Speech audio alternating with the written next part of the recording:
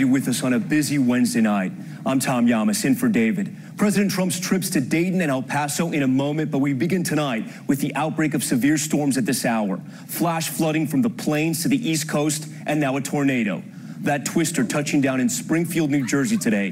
Heavy rain flooding the streets in Baltimore. Cars, you see them there, underwater. And this huge water spout forming on Lake Erie. Severe thunderstorm watches across several states at this hour, including Philly and New York. ABC's Whit Johnson leads us off. Tonight, heavy downpours and damaging winds across the Northeast as millions head home from work.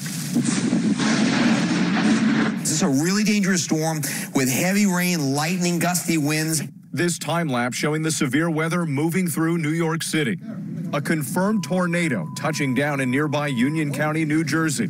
This after a supercell brought large hail to parts of the heartland, the size of baseballs in South Dakota. There's some that are a lot bigger than this one. Overnight, winds gusting to 70 miles per hour, toppling trees and ripping apart roofs in Grand Island, Nebraska. The Baltimore area hammered by a separate system that moved through Tuesday, streets turning to rivers amid a flash flood warning. More than five inches of rain in some places. A lightning strike being blamed for this three alarm fire. Fortunately, the building was vacant. And Tom, the weather having a significant impact on air travel. Already more than 1,500 flight cancellations in and out of the U.S.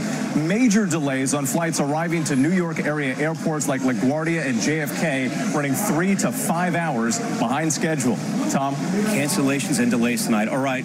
Thanks so much for that, Whit. Let's get right to ABC Chief Meteorologist Ginger Zee. And Ginger, mm-hmm. these severe storms are hitting right now? Right now. We are just in the thick of it, really, Tom. So I want to take you to the map. More than 100 severe storm reports already. You see the yellow boxes? That would be severe thunderstorm warnings, meaning that it is happening, it is imminent. 60 plus mile per hour winds anywhere from New Hampshire and Vermont down into Delaware. And yes, Philadelphia and New York City still included even into eastern North Carolina. But there's another cold front on the map. That's the one that we're tracking for tomorrow to bring segments of storms anywhere from, say, Elmira, New York, to Columbus, Indianapolis, and even Cincinnati. Okay, we'll stay tracking these storms throughout the night. Ginger, thank you. Now to a nation very much on edge, fearing another possible mass shooting.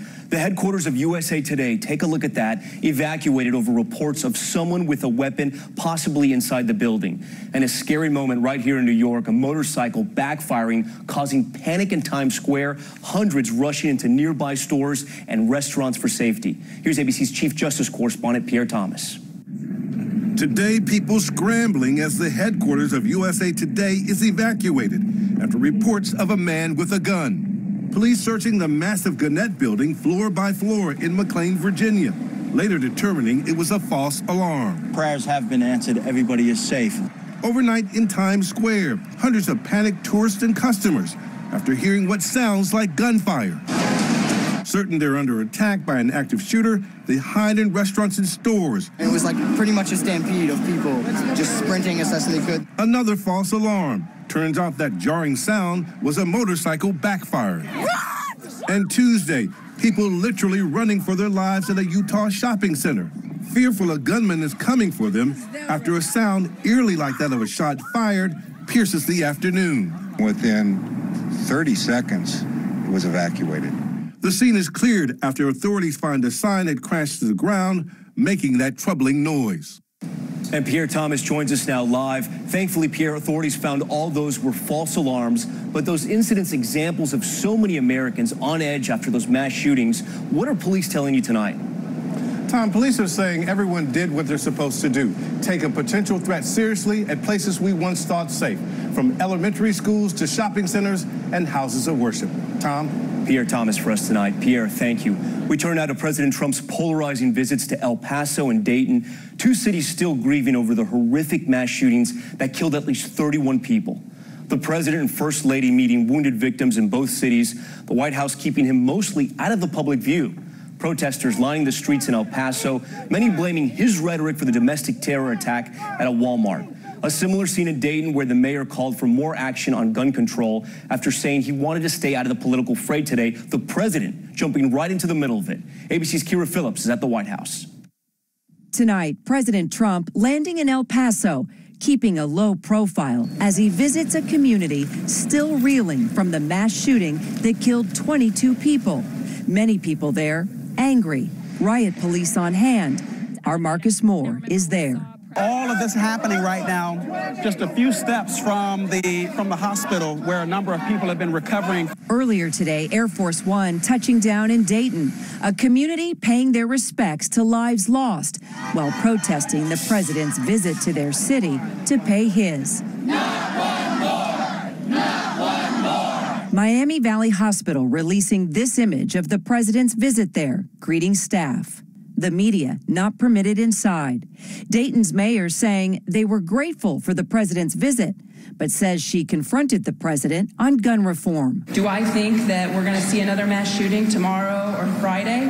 Probably, because Washington will not move. Former Vice President Joe Biden also taking on the president. Is both clear language and in code. This president has fanned the flames of white supremacy in this nation. But the president telling me his rhetoric is not to blame. What do you say to your critics that believe it's your rhetoric that is emboldening white nationalists that's inspiring this anger? So my critics are political people? No, I don't think my rhetoric has it all. I think my rhetoric is a very, uh, it brings people together. And Kyra Phillips joins us now live from the White House. Kyra, this morning we heard it in your report. The president told reporters he wanted to stay out of the political fray, but this trip to visits with victims turned very political very quickly. It sure did. And as soon as he left Dayton, Ohio, he took to Twitter, tearing into the Ohio Democrats that he met with, saying that their news conference was a fraud. And as for Joe Biden, well, the president tweeting his speech today, Tom, was, quote, so boring. Kyra Phillips for us at the White House tonight. Kyra, thank you. We turn now to breaking developments north of the border and the manhunt for two teenagers wanted for the deaths of three people, including an American woman and her boyfriend. After weeks of searching, Canadian authorities believe they found the bodies of the suspects. The bodies discovered about 2,000 miles from where the victims were found. Here's ABC's chief national correspondent, Matt Gutman. That Canada wide search for those teenage murder suspects ended today with the discovery of what are believed to be their remains. Kam McLeod and Bryer Schmegelsky's alleged murder spree began in British Columbia more than three weeks and 2,000 miles from where the bodies were found. They were accused of shooting American Chynna Deese and her boyfriend, Lucas Fowler, point blank on July 15th, then driving to another part of British Columbia and murdering this college professor. Those deaths sparking a massive manhunt, surveillance cameras capturing the two at this big box store on July 21st, over a thousand miles away. Then, a day later, residents in the remote town of Gillam, Manitoba, spotted the pair. SWAT teams blockading the town, finding the RAV4 the two were believed to have stolen. On Friday, August 2nd, that one critical piece of evidence was found. Items directly linked to the suspects were located on the shoreline of the Nelson River. That evidence was this damaged boat. It took only a few more days to find their bodies. Now, Canadian authorities, Tom, tell us that a coroner will determine how and when those two murder suspects died, and investigators still have to unravel the motive in these murders. Now, I spoke to the mother of one victim tonight. She said she was overwhelmed. Tom. The motive still the big question here. All right, Matt, thank you. Now to surprising new developments involving a powerful home explosion in Ohio. The blast now being investigated as a hate crime. The explosion leveling the home, you see it here. Investigators, though, finding racial slurs and a swastika spray painted on the property. Authorities say it's the second time this week someone tried to destroy the house. Here's ABC's Alex Perez. The explosion overnight in Sterling, Ohio. 911. Um, yes, there is a house behind our house that is completely engulfed in flames on fire. The home belonging to Angela Fraze. The African American woman has lived here for more than two decades. Authorities discovering a swastika and racial slurs spray painted on the garage door and the neighbors' vehicles. It's really sickening. It is. It's sickening to do this to somebody's home. We could have been in there. Fraze says she and her husband were away while the home was being repaired. Authorities had been at the house a day before the blast after they say someone intentionally tried to fill the home with natural gas and cause an explosion. This type of activity is very disappointing and thinking that, you know, one or a couple people could have that type of behavior. Tom, the homeowners say they do not intend on rebuilding for fear they could be targeted again. Authorities now offering a $5,000 reward for any information leading to an arrest. Tom? Alex Perez for us tonight. Alex, thank you. Next to a deadly police shooting sparking protest in Colorado Springs. Newly obtained surveillance video appearing to show a black suspect shot while running away from two officers. Police claiming he was reaching for a gun. The images may be disturbing. ABC's Clayton Sandell's in Colorado.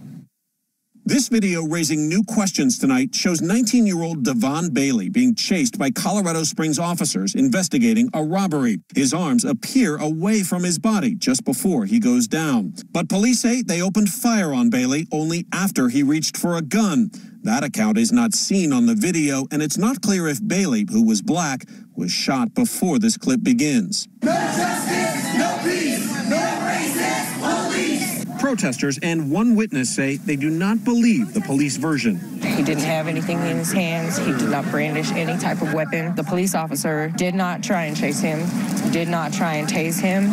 He took out his gun and he shot him. Police say a weapon was found at the scene Saturday night. The video shows officers cuffing Bailey and attempting CPR before paramedics arrive.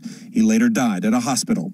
Those officers who are now on leave were wearing body cameras, but the footage has not yet been released. The Colorado Springs mayor is now calling for calm until the investigation is complete. Tom? Clayton, with that newly released video. Clayton, thank you. That on ABC News exclusive tonight, we are hearing from the hero bouncer in the mass shooting in Dayton, where nine people were killed. Surveillance showing him rushing people into the bar and coming face to face with the gunman, telling us there was no way he was getting through that door. There's also new reporting on the shooter's final moments. ABC's Eva Pilgrim is in Dayton. Tonight, police searching for a motive in the Dayton mass shooting, investigating this video obtained exclusively by CNN.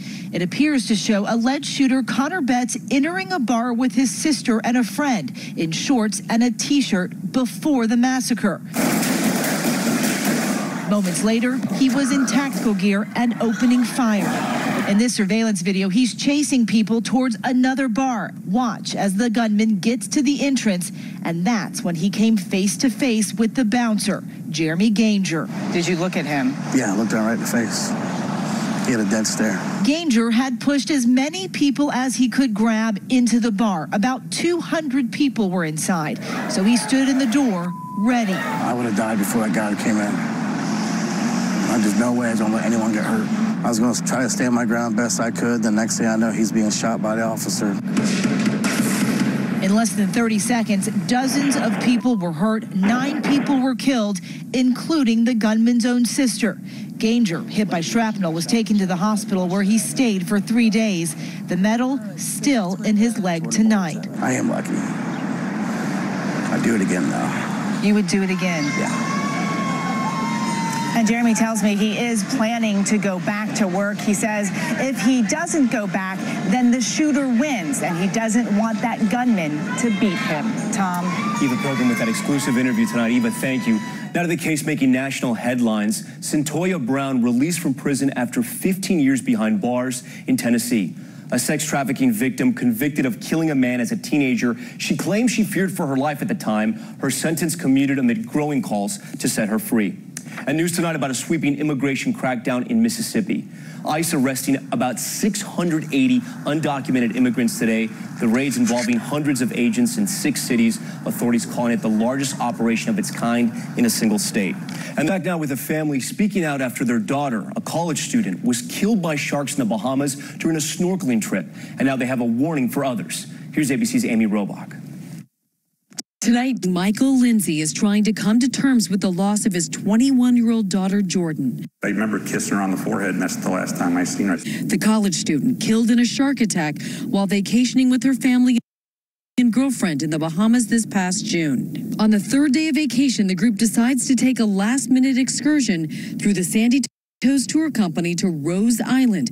Jordan and her mom, Cami, decide to snorkel when the unthinkable happens. Jordan's like was screaming mom, and then Cami realized the first shark took like most of her right arm off. Like she was trying to swim with one arm. Cami tries pulling Jordan to safety when a second shark attacks. Jordan said, Mom, there's another shark coming.